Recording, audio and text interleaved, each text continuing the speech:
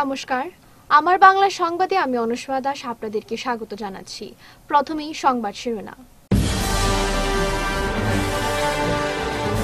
কাটিগোড়ায় বন্যাক্রান্ত এলাকা পরিদর্শন করলেন অভিভাবক মন্ত্রী অশোক সিংঘল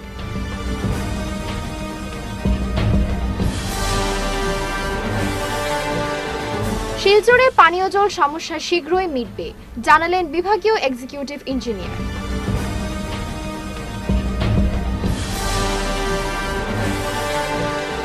রায়পুরের বাঁধে আশ্রয় নিলেন শতাধিক পরিবার। শিশু খাদ্য প্রদানের জোরালো দাবি।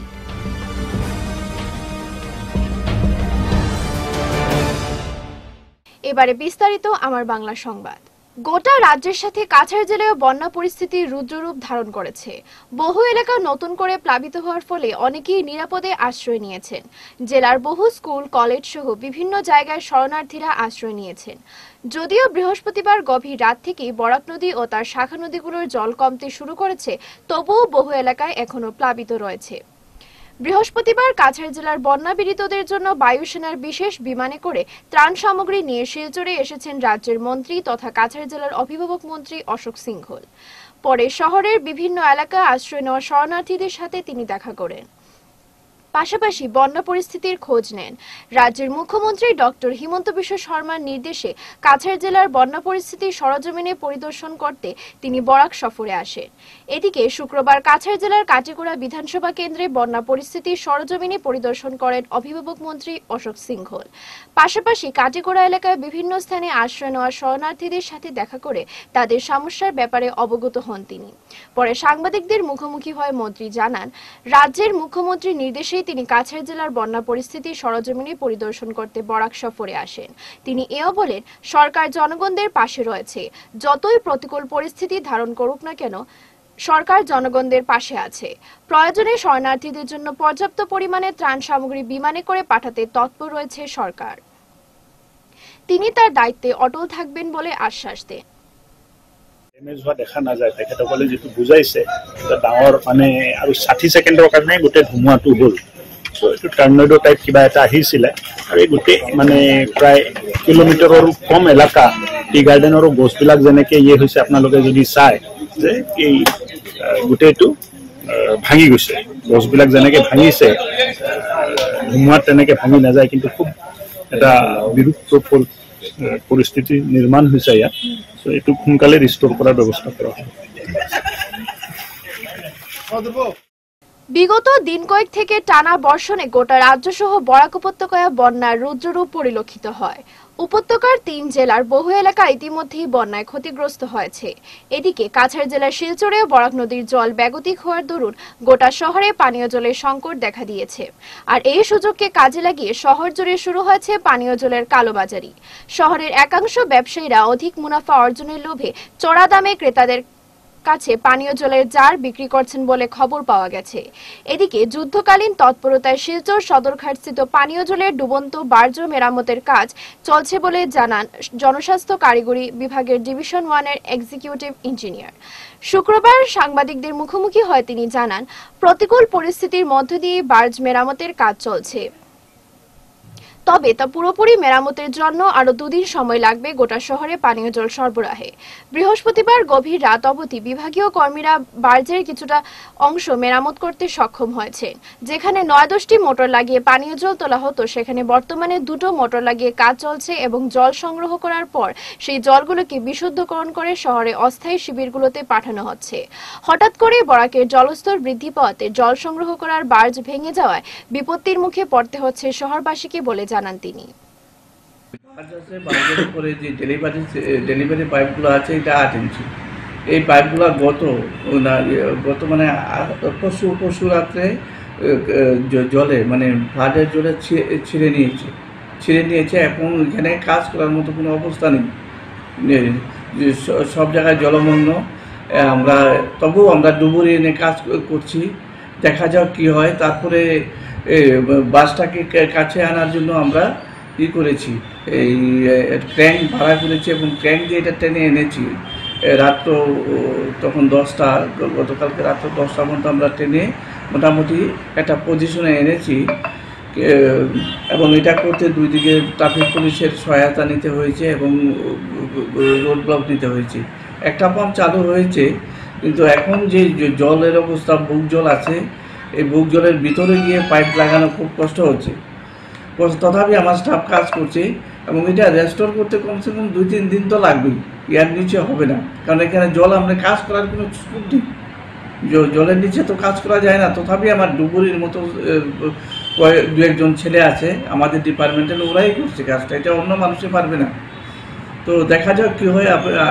এই অনুচ্ছাকৃত জল সাপ্লাই না দেওয়ার জন্য আমাদের, আমরা ক্ষমা পাচ্ছি আপনারা আমাদের সঙ্গে সহযোগিতা করুন। হঠাৎ করে বরাকের জল বেড়ে যাওয়ার ফলে রায়পুরের বাঁধে বন্যা পীড়িতরা। জল বেড়ে যাওয়ার দরুন এলাকার বেশ কয়েকটি জিপির অবস্থাও ভয়ানক রূপ ধারণ করেছে। বিশেষ করে কুমারপাড়া, ভৈরবনগর জিপি, রাজনগর জিপি এবং শ্রীকোনা জিপির বৃহৎ অংশ বন্যার জলে তলিয়ে যাওয়ায় চরম ভোগান্তির শিকার হচ্ছেন এলাকার বাসিন্দারা। ওই গ্রামগুলোর উপর দিয়ে বইছে খরস্রোতা বরাক। এলাকার উঁচু স্কুলগুলো জলমগ্ন হওয়ায় স্থানীয়দের অবশেষে ঠাঁই নিতে হয়েছে বাঁধের উপর কিংবা নিজ বাড়িতে। এদিকে এখনও পর্যন্ত সরকারের পক্ষ থেকে এলাকায় পৌঁছায়নি প্রয়োজনীয় ত্রাণ সামগ্রীও। গৃহবন্দী অবস্থাতেই দিন কাটাচ্ছেন স্থানীয়রা। এহেন অবস্থায় শুক্রবার দুপুরে স্থানীয়দের জন্য মধ্যাহ্নভোজের আয়োজন করলেন রায়পুর বাঁধ নির্মাণের ঠিকাদার রোহিত গুলগুলিয়া। এদিন সংবাদ মাধ্যমে স্থানীয়রা জানান, সরকার এলাকার বড়দের জন্য খাদ্য সামগ্রীর ব্যবস্থা গ্রহণ না করলেও শিশু খাদ্য এবং পশু খাদ্য এলাকায় যেভাবেই হোক তা প্রদান করতে জোরালো দাবি জানান।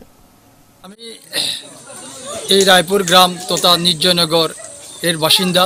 এখানে গত তিন দিন আগে ভয়াবহ বরাক নদীর প্লাবিত জলে আমাদের প্রায় রায়পুর ডাইকের প্রায় চারশত মিটার ব্যাপী জল উপচে পড়ার কারণে আমাদের এই এই Krishnapur Bairnagar GP Kumarpara Nirjoynagar GP, Rajnagar GP এবং শ্রীকুনার জিপির কিছু কিছু অংশ পুরো মাত্রায় একশো শতাংশ মানুষের ঘরবাড়ি জলের নিচে ডুবিয়ে গিয়েছে। এখানে হঠাৎ করে জলে আক্রমণ করার কারণে মানুষে তার গরু মহিষ থেকে শুরু করে কোনো চাউল ডাল কোনো কিছু মানে এ, এ করতে পারেনি। যার দরুন আমাদের এই এলাকার মানুষ বিরাট ক্ষতিগ্রস্ত হয়েছে। এই ক্ষতিগ্রস্তদের সহায়তার জন্য আমাদের এই চলমান ডাইকের, রায়পুর ডাইকের কন্ট্রাক্টদার মহাশয় আজকে আমাদেরকে এক বেলার মানে খিচুড়ি বিতরণ করে আমাদেরকে সাহায্য করেছেন। কিন্তু প্রশাসনের তরফ থেকে বা সরকারের পক্ষ থেকে কোনো ধরনের এখানে কোনো রিলিফ দেওয়া হয়নি। আজকে এই সামনে আপনারা দেখতেছেন যেটা তারাচাঁদ মধ্যবঙ্গ বিদ্যালয়। এই বিদ্যালয়টি এই এই এলাকার সবচেয়ে উঁচু জায়গা। সেই জায়গাটাও, এই স্কুলটি নদীর জলে প্লাবিত করে ফেলেছে। এখানে ক্যাম্প করে মানুষ বসবাস করতেছে। কিন্তু তথাপিও তারা আশ্রয় নেবার কোনো জায়গা নেই। এখানে তারা বেঞ্চের উপরে বেঞ্চের উপরে তারা বসবাস করতেছে। তাই আমি প্রশাসনকে বা সরকারকে অনুরোধ জানাচ্ছি, অতি সত্তর এই প্লাবিত যে রায়পুর নির্জয়নগর বা আরও যেগুলা গ্রাম আছে, ওইগুলাকে ত্রাণ বিতরণ করে এদেরকে সাহায্য করার জন্য আমি বিশেষ করে অনুরোধ জানাচ্ছি। তৎসঙ্গে আমি পানীয় জলের বিরাট একটা অসুবিধা দেখা যাচ্ছে এবং গরু মহিষের বা যেগুলা এই গবাদি পশু আছে, এগুলাদের বিরাট অসুবিধা হচ্ছে, ওদের খানি নাই, কিছু নেই। হ্যাঁ যা খড়কুটা যা ছিল তা জলের নিচে ডাবিয়ে গেছে। তাই এই ওদের স্কুল আইসি, স্কুল আইয়া এখানেও জল।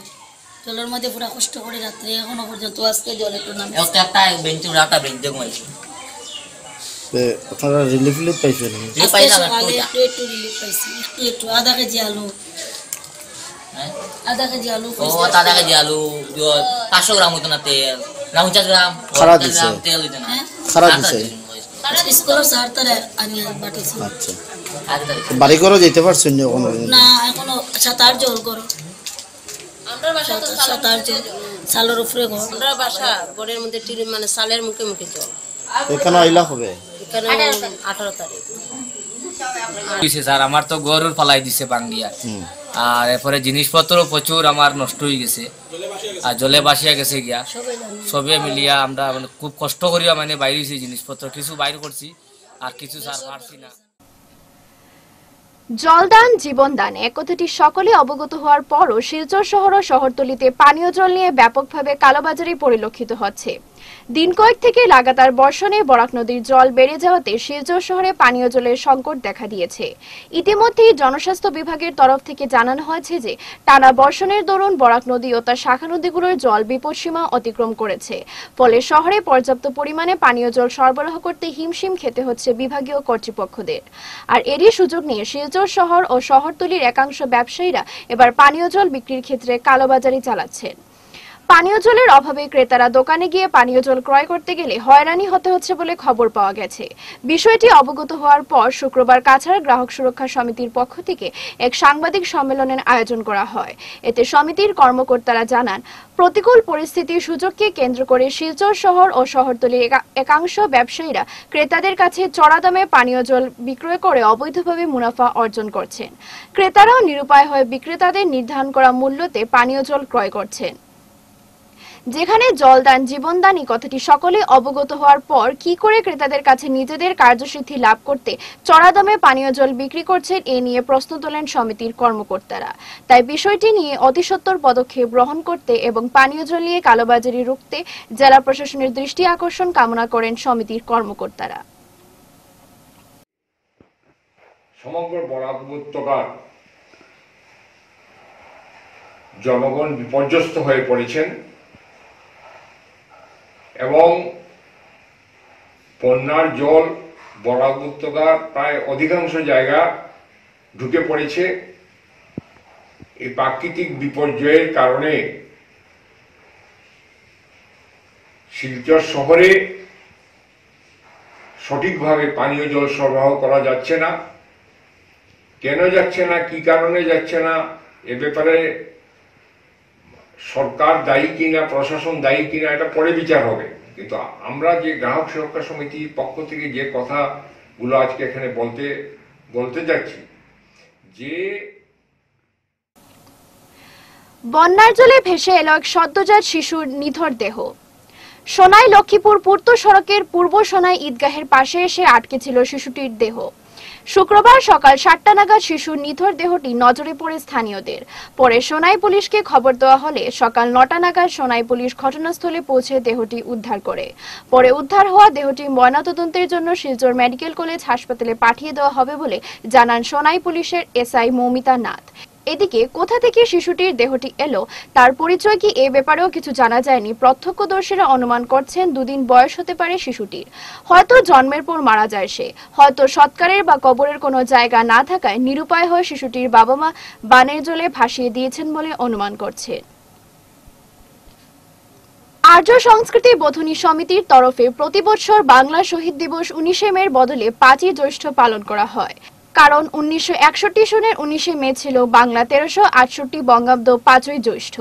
এরই প্রেক্ষিতে শুক্রবার আর্য সংস্কৃতি বোধনী সমিতির পক্ষ থেকে পাঁচই জ্যৈষ্ঠ একাদশ ভাষা শহীদ স্মরণে দুপুর দুইটা পঁয়ত্রিশ মিনিট প্রথমে তারাপুর রেল স্টেশন চত্বর রেল লাইনে দাঁড়িয়ে এগারো শহীদদের স্মৃতির উদ্দেশ্যে নীরবতা পালন করা হয়। পরে শহীদ বেদিমূলে পুষ্পার্ঘ অর্পণ সহ সমিতির প্রতিষ্ঠাতা, মুখ্য সংযোজক সদ্যপ্রয়াত গৌতম ভট্টাচার্যের কথা ও সুরে পাঁচ জ্যৈষ্ঠের গাই জয় গান গানের মাধ্যমে একাদশ শহীদদের প্রতি শ্রদ্ধা নিবেদন করা হয়। পরে গান্ধীবাগ শহীদ স্মৃতিসৌধে পুষ্পার্ঘ অর্পণ এবং সেই সঙ্গে সমিতির প্রাণপুরুষ গৌতম ভট্টাচার্যকে শ্রদ্ধা জানিয়ে তার কথা ও সুরে সমবেতভাবে তিনটি সঙ্গীতের মাধ্যমে শহীদদের স্মরণ করা হয়।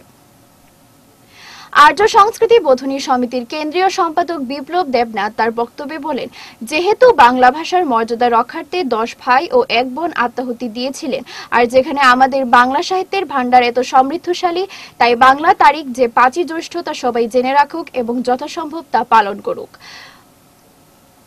উনিশ নিয়ে এখানে বিন্দুমাত্র দ্বন্দ্ববিভেদ নয়, এটা আমাদের প্রত্যেকের স্বাভিমান। উল্লেখ্য, দীর্ঘ বছর ধরে আর্য সংস্কৃতি বাংলা তারিখ মেনে শহীদ দিবস পালন করে আসছে। বাংলার বর্ণমালা, বাংলার সংখ্যা, বাংলার দিনপঞ্জিকা, সেই চিন্তাধারায় রক্ষা করার সেই মন্ত্রকে আর্য সংস্কৃতি বোধিনী সমিতি মাথায় তুলে নিয়েছেন। আর সেইটাকে ভেবেই আজ আমরা প্রথমে দুটা পঁয়ত্রিশ মিনিটে তারাপুর রেলওয়ে স্টেশনে এই পাঁচ জ্যৈষ্ঠের মাতৃভাষা রক্ষার সেই বলিদানকারী এগারো জন যারা শহীদ হয়েছে, তাদের প্রতি শ্রদ্ধা জানানোর জন্যে সেই রেলওয়ে স্টেশনের লাইনে দাঁড়িয়ে আমরা এক মিনিট নীরবতা পালন করি, তাদের প্রতি আমরা শ্রদ্ধা নিবেদন করি। পরবর্তী সময়ে আমরা তারাপুর রেলওয়ে স্টেশনের যে শহীদ স্মৃতিস্তম্ভ রয়েছে, সেই শহীদ স্মৃতিস্তম্ভে আমাদের আর্য সংস্কৃতি বোধনী সমিতির সভ্য সব্বারা সম্মিলিতভাবে আমরা সেই স্মৃতিস্তম্ভে শ্রদ্ধাঞ্জলি নিবেদন করি এবং আমাদের আর্য সংস্কৃতি বোধনী সমিতির কর্ণধার, প্রতিষ্ঠাতা মুখ্য সংযোজক প্রয়াত গৌতম ভট্টাচার্যের লিখিত সেই সংগীত, পাঁচ জ্যৈষ্ঠের গাই জয়গান, পাঁচ জ্যৈষ্ঠের গাও জয়গান, সবাইকে আহ্বান জানিয়ে আমরা সেই সঙ্গীতে সেখানে পরিবেশন করি এবং তারপর সবাই সম্মিলিতভাবে আমরা শিলচরের গান্ধীবাগের যে শহীদ স্মৃতিস্তম্ভ রয়েছে, সেই শহীদ স্মৃতিস্তম্ভে এসে আমরা সেই স্মৃতিস্তম্ভ তলে আমরা সম্মিলিতভাবে বসে সেখানে আমরা প্রার্থনা করি। বন্যার সুযোগ নিয়ে কাছাড় জেলার শহর, শহরতলির একাংশ ব্যবসায়ীরা নিজেদের কার্যসিদ্ধি করতে ব্যাপকভাবে নিত্য প্রয়োজনীয় জিনিসপত্র চড়া দামে ক্রেতাদের কাছে বিক্রি করছেন। সড়ক ও রেলপথে যোগাযোগ বিচ্ছিন্নের দরুন ক্রেতাদের সামগ্রী আসছে না বলে অজুহাত দেখিয়ে অবৈধভাবে মুনাফা অর্জনে ওঠে পড়ে লেগেছে শহর ও শহরতলির একাংশ ব্যবসায়ীরা। ক্রেতারাও আর কোনো পথ না পেয়ে অবশেষে ব্যবসায়ীদের নির্ধারণ করা জিনিসপত্র কিনতে বাধ্য হচ্ছেন। ইতিমধ্যে সেই সব অবৈধ ব্যবসায়ীদের লাগাম টানতে জেলা প্রশাসনের তরফ থেকে ব্যবস্থা গ্রহণ করা হয়েছে। পাশাপাশি চালু করা হয়েছে টোল ফ্রি হোয়াটসঅ্যাপ নম্বরও।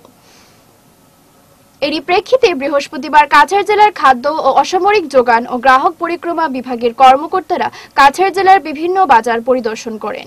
এদিন শহরের ফাটক বাজার, রংপুর বাজার, তারাপুর বাজার, উধারবন বাজার সহ জেলার বেশ কয়েকটি বাজারে পরিদর্শন করে ব্যবসায়ীদের কাছ থেকে নিত্য প্রয়োজনীয় জিনিসপত্রের দরদাম জিজ্ঞেস করতে দেখা গেছে।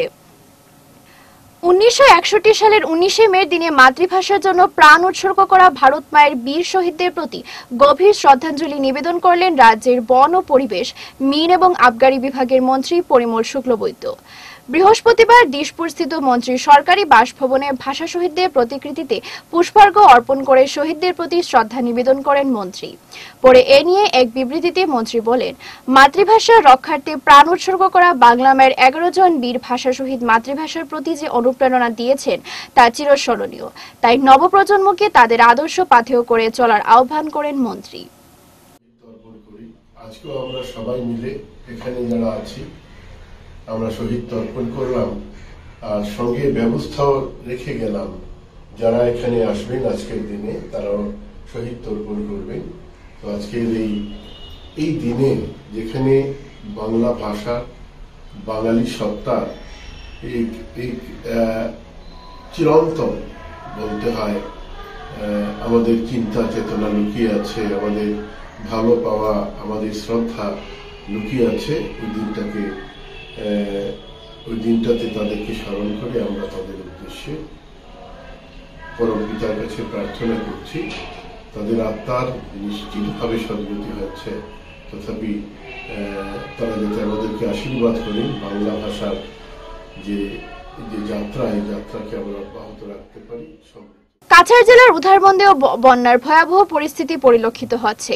এলাকার বহু মানুষের বাড়িতে জল ঢুকে পড়ার নিরাপদ বিভিন্ন শিবিরে আশ্রয় নিয়েছেন শুক্রবার এলাকার বন্যাপীড়িতদের সহযোগিতায় এগিয়ে এলেন বিশিষ্ট সমাজসেবী তাপস দাস। এদিন তিনি উধারবন্দ এলাকায় বিভিন্ন শিবিরে আশ্রয় নেওয়া বন্যাপীড়িত জনগণের সাথে দেখা করে খোঁজ খবর নেন। পাশাপাশি জনগণের মধ্যে ত্রাণ সামগ্রী বিতরণ করেন। এদিন সকাল নটা নাগাদ উধারবন্দ বিধানসভা কেন্দ্রের গোসাইপুর, দুর্গানগর, জিপির অধীনস্থ চলিতাকান্দি ময়নারবন্দ কাশীপুর ইত্যাদি এলাকা পরিদর্শন সহ প্রায় সহস্রাধিক শরণার্থীদের হাতে ত্রাণ সামগ্রী তুলে দেন। পঞ্চায়েত এবং লোকসভা নির্বাচনের মহারণে বিজেপি, ইউডিএফ দলের বিরুদ্ধে লড়বে কংগ্রেস। বৃহস্পতিবার হাইলাকান্দি জেলা কংগ্রেস ভবনে প্রদেশ কংগ্রেস নেতার উপস্থিতিতে আনুষ্ঠানিকভাবে হাইলাকান্দি জেলা কংগ্রেস সভাপতি হিসেবে দায়িত্ব গ্রহণ করে ওই ঘোষণা করেন হাইলাকান্দি জেলা কংগ্রেস সভাপতি সামুদ্দিন বরলস্কর তিনি বলেন, বিগত নির্বাচনে হাইলাকান্দিতে কংগ্রেস দলের টিকিট বিক্রির অভিযোগ উঠে। তৃণমূল স্তর থেকে সংগঠনের নেতাকর্মীদের মতামত নিয়ে বিনা পয়সায় স্বচ্ছ ভাবমূর্তি সম্পন্ন যোগ্য প্র- প্রার্থীকে দলীয় টিকিট দেওয়া হবে। এপিসিসির সাধারণ সম্পাদক আমিনুর রশিদ চৌধুরী তার বক্তব্যে এওডিএফ ও বিজেপি দলের ক্ষুরদার সমালোচনা করেন।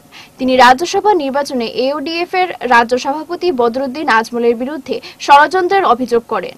বলেন, আজমলের ষড়যন্ত্রে রাজ্যসভা নির্বাচনে রিপুন বরাকে প্রার্থী করা হয়েছিল। নির্বাচনে দলবিরোধী কাজের জন্য কংগ্রেস দুজনকে বহিষ্কার করে, কিন্তু ইউডিএফ তাদের দলের বিধায়কের বিরুদ্ধে কোনো ব্যবস্থা গ্রহণ করেনি। আজকের এই সভায় আমি Jacob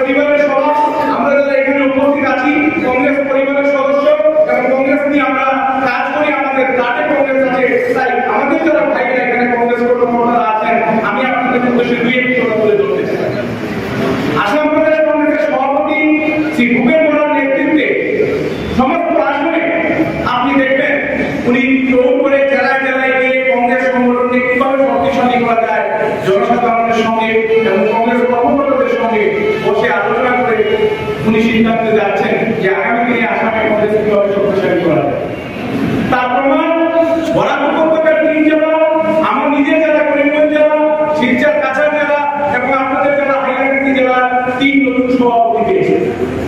তার কারণ একটাই আমাদের আসাম প্রদেশ কংগ্রেসের সভাপতি ভূপেন বলার নেতৃত্বে আসাম প্রদেশ আগামী দিনে শক্তিশালী করার যে চেষ্টা উনি আমাদের সভাপতি মহাশয় করছেন তার সঙ্গে আমরা সবাই ভূপেন বলার সঙ্গে আছি আর আমার দৃঢ় বিশ্বাস এখানে যারা কংগ্রেস কর্মীরা আছেন কংগ্রেস শক্তিশালী করার জন্য যে পদক্ষেপ আসাম প্রদেশ কংগ্রেস দিবে তার সঙ্গে আমরা পঞ্চায়েত এবং লোকসভা নির্বাচনকে সামনে রেখে হাইলাকান্দিতে আম আদমি পার্টিকে আরও শক্তিশালী করে তোলার লক্ষ্য বৃহস্পতিবার হাইলাকান্দি শহরে এক হোটেলে আম আদমি পার্টির এক যোগদান সভা আয়োজিত হয়। সভায় অর্ধ শতাধিক লোক আম আদমি পার্টিতে যোগদান করেন বলে জানান পার্টির হাইলাকান্দি জেলা কোঅর্ডিনেট ফরিদুল হোসেন লস্কর। তিনি বলেন, আপ নেতা অরবিন্দ কেজরিওয়ালের নীতি ও আদর্শকে বিশ্বাস করে আম জনতার দল হিসেবে দলে অর্ধ শতাধিক যোগদান করেন। জনতার সেবা করাই মূল্য লক্ষ্য। বন্যা দুর্গতদের পাশে দাঁড়িয়ে তাদের সাহায্য ও সহযোগিতা করার জন্য এদিনের সভায় সর্বসম্মতিক্রমে সিদ্ধান্ত গৃহীত হয়। সভায় উপস্থিত ছিলেন আপের করিমগঞ্জ লোকসভার কোঅর্ডিনেটর জাবির আহমেদ চৌধুরী জাকারিয়া আহমেদ মজুমদার প্রমুখ। আজকে হাইলাকান্দিতে আম আদমি পার্টির কি প্রোগ্রাম হয়েছিল? আজকে আমরা আমার পার্টি হাইলাকান্দির তরফ থেকে একটা যোগদান কার্যসূচি আয়োজন করা হয়েছিল। সেখানে আমাদের লালা হাইলাকান্দি এবং আলগাপুর থেকে প্রায় অর্ধ শতাধিক মানুষই আজকে আম আদমি পার্টি এই আম আদমি পার্টির নীতি এবং আদর্শ দেখে কেজরিওয়াল মহাশয়ের এইসব মানে কাজের কাজ দেখে তারা নিজে উৎসাহিত হয়ে আজকে আমাদের কার্যসূচিতে এসে অর্ধ শতাধিক মানুষ আমাদের আমাদের পার্টিতে যোগদান করে। তো আমি আশা রাখি আমাদের হাইলাকান্দি ডিস্ট্রিক্টে ভবিষ্যতে আরও মানুষ যোগদান করবেন এবং স্বচ্ছ দল হিসাবে সবাই মেনে নেবেন এবং সবাই আমাদের সাহায্য সহযোগিতা করবেন এবং আমাদের সাথে থাকবেন, এই আশা। বরাক নদীর জলস্তর স্থির অবস্থানে থাকলেও সোনাই ও আমজু নদীর জল এখনও উজানে তীব্র বেগে দৌড়াচ্ছে। সোনাই নদীর বাঁধ ভেঙে নতুন করে বিভিন্ন এলাকা প্লাবিত হচ্ছে। অর্ধেকাংশ পূর্ত সড়কগুলো জলের তলায় রয়েছে। বন্যায় সবচেয়ে বেশি ডুবছে পূর্ব সোনাই এলাকা। সোনাই রাজ্য সার্কেলের অধীনে অর্ধশতাধিক গ্রাম বর্তমানে জলের তলায় রয়েছে। এদিকে সোনাইয়ের বন্যাক্রান্তদের সময় মতো উদ্ধার তো দূরের কথা, পর্যাপ্ত ত্রাণ সামগ্রীও পাননি বন্যার প্রকোপে পড়া লোকেরা। এই অভিযোগ খুব বেশি শোনা যায় সোনাই রাজস্ব সার্কেল এলাকায়। সোনাই সার্কেলের দায়িত্বে থাকা কর্মীদের বিরুদ্ধে ক্ষোভ প্রকাশ করেছেন অনেকেই। বন্যা বিধ্বস্ত এলাকার খোঁজ খবর নিয়ে তৃণমূল কংগ্রেস নেতা শান্তিকুমার সিনহা প্রশাসনের বিরুদ্ধে ক্ষোভ প্রকাশ করে বলেন, প্রশাসনের তরফ থেকে যতটুকু সাহায্য পাওয়ার কথা, ততটুকু পাচ্ছেন না বন্যায় আক্রান্ত লোকেরা। এখনও পর্যন্ত সোনাইয়ে পর্যাপ্ত আশ্রয় শিবির সহ ত্রাণ সামগ্রী পৌঁছাতে পারেনি প্রশাসন। বর্তমান বিজেপি সরকার জনগণের কল্যাণে কাজ করতে পারছে না বলে জানান তিনি। এদিকে বন্যা কবলিত এলাকায় গিয়ে বন্যা দুর্গতদের সাহায্যের হাত বাড়িয়ে দিতে কর্মকর্তাদের প্রতি আহ্বান জানিয়েছে উত্তর পূর্ব যুব আহলে সুন্নত ও আল জামাত। বন্যায় ক্ষতিগ্রস্তদের সাহায্যের দাবি তুলেছে সংগঠন। এই জায়গা এখান থেকে আমরা জাঞ্জারবাড়ি এবং সাতরাকান্দির কিছু অংশ আছে পার্ট ওয়ান এই অঞ্চল গত পরশু দিন আমি এবং আমার এই ছোট ভাই এবং অন্যান্য তদঞ্চলের ডিপার্টমেন্টের মানুষগুলা গিয়ে আমরা ঘুরে দেখে এসেছিলাম যে নদীর জল যেভাবে বাড়তেছে, এই, এইভাবে যদি বাড়ে, তখন এই অঞ্চল পুরাপুরি জলের নিচে আসে যাইব। আমরা নিজে গিয়ে জায়গাটা যাই জায়গা করে এসেছিলাম। কিন্তু আজকে দেখেছি যে এই অঞ্চল পুরো জলের মধ্যে, জলের নিচে এবং এখানে গাড়ি চলাচলের কোনো রাস্তা নেই। কিন্তু সকাল থেকে ওই গ্রামের লোকগুলোকে ওইখান থেকে এইখানে ভ্যাকেট করিয়ে আনার যে ব্যবস্থা গ্রামবাসী নিজের পক্ষ থেকে করেছে। গ্রামবাসীর পক্ষ থেকে জেলা প্রশাসনের কাছে, এনডিআরএফ বা এসডিআরএফ বা ওইখান থেকে যেগুলো বোট আছে, এই সাহায্য তার কাছ থেকে তারা চাওয়া হয়েছিল সকাল থেকে বারংবার ফোন করার পরেও তারা সরকারের পক্ষ থেকে কোনো সাহায্য এই গ্রামবাসীকে দেওয়া হইতেছে না। কিন্তু গ্রামবাসীর পক্ষ থেকে তারা নিজের পক্ষ থেকে অগ্রসর হইয়া গিয়া এই উদ্ধার কার্যে তারা নিজে সামিল করছেন এবং অনেক মানুষ গ্রাম থেকে তারা সরাই আনতে পারছেন। এতে দেখা যায় আসাম সরকার এই আমাদের জনগণের সেবায় তারা নিজেকে নিয়োজিত করতে পারতেছে না। আসাম সরকারের পুরাপুরি ফেইলার আছে। তারা জানে যে প্রাকৃতিক দুর্যোগ বিভাগ থেকে তারা শেষ করার আগে বিশেষ বিশেষ খবর আরও একবার। কাটিগড়ায় বন্যাক্রান্ত এলাকা পরিদর্শন করলেন অভিভাবক মন্ত্রী অশোক সিংহল।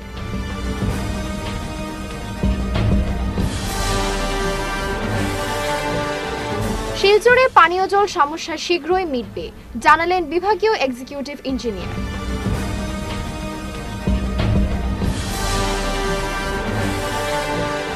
রায়পুরের বাঁধে আশ্রয় নিলেন শতাধিক পরিবার, শিশু খাদ্য প্রদানের জোরালো দাবি।